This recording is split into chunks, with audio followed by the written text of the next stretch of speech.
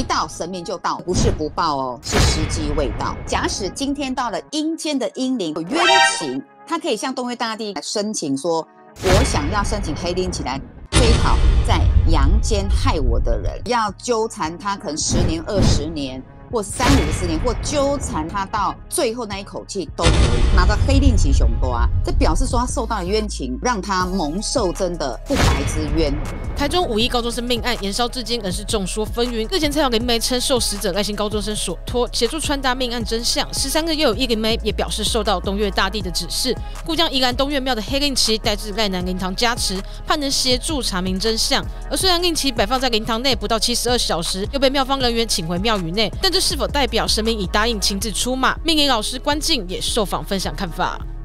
那好像听他后来说，好像是一个小差异就是说其实是拿错了啊。这个是在庙宇镇宝镇宅呃镇宝之物，好是神明所所持有的。就是因为这样子，我们讲说这个呃这个上面小误差，就误打误撞，好像也类似祈祷神明就到嘛。对不对？好像哎，类似说这个东域大帝是不是也跟他跨北流体，可能想要借由他这个麒麟道神佛就道的这样的一个呃威严啊，来让这一些所谓因果这个事情在阳间也形成一个提醒我们世人哈，这是因果未报，好，这个不是不报哦，是时机未到，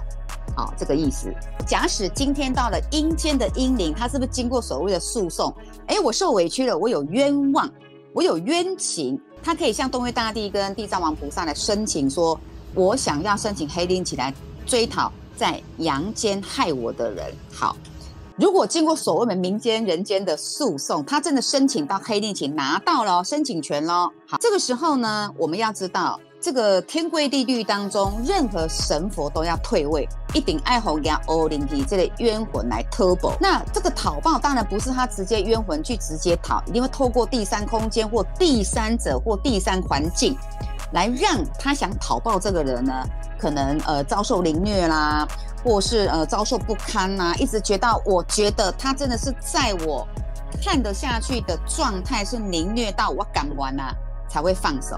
所以所有的神佛一定要退位，一定要退让，不能去插手。这个叫做拿着黑令旗雄多啊，这表示说他受到的冤情，可真的是呃让他蒙受真的呃这个不白之冤啊，或是丧失了生命，或丧失了他们家的名誉，或是丧失了几乎是呃连带很多很多条人命的这样子的一个冤情。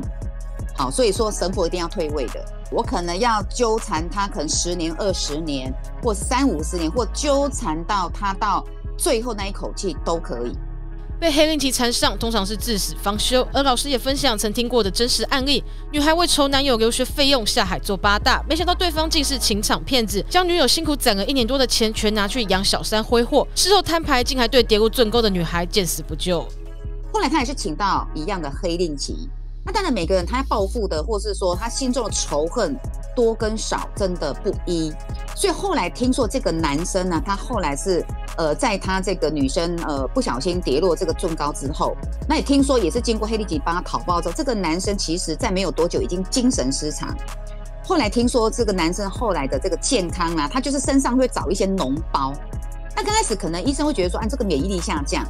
那没有没有多久，又变脓包，又变成是那个呃，已经侵害到我们的那个那个那个神经的组织，就类一点看微这个坑，就很像我们那个什么糖尿病要截肢有没有？就一个洞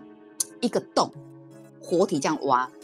啊，因为已经开始长一些脓，没有办法去去去保留它这个肉体，所以其实基本上我们讲说，呃，因果不是不报，好时候未到。但是我们当然就是说，呃，你看阴间里面，它还是有秉持为这些所谓的呃阴间的阴灵，他们有主持一个所谓的正道公道。好，很多人他并不是想提早结束自己的生命，他是不得已，或是被人陷害，被人被人这样子推落，或是被人家做这样子的一个呃挖一个洞，好去设陷阱。所以呢，我觉得天地当中，老天也是有公道。然后呢，当然我们也透过有这样一个阴间的管道，就如同人间的这样子的一个管道，可以做申诉，好，可以有个诉愿会。好，可以让他们这些阴灵呢，有得一个所谓啊平衡他们自己啊这个当初的这种冤哈，这个怨也让他们可以有这个天地当中还给他们一个公道。